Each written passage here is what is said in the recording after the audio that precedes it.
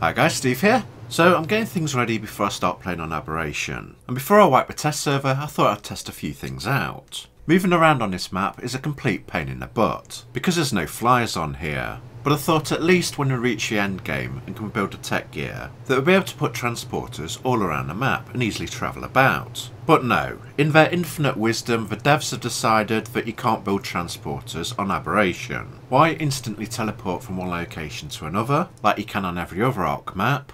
When the devs can add to the grind and force you to travel around slowly, getting you to spend many more hours in game than you need to. So yeah, if you're looking forward to getting a transporter so you don't have to hop around on a Drake, forget it. As you can see, it says this structure cannot be built on this ARK. So I'm just warning you now in case you're looking forward to a teleporter later on. I think you can get around it if you install the S Plus mod, but I've not tried that myself. Just letting you know. Goodbye. Thanks for watching. If it was helpful, click the like button. And if you're new, please click subscribe. You can also click the bell icon and get notified as soon as I upload next. And don't forget to check out my other helpful videos. Goodbye and hope to see you again.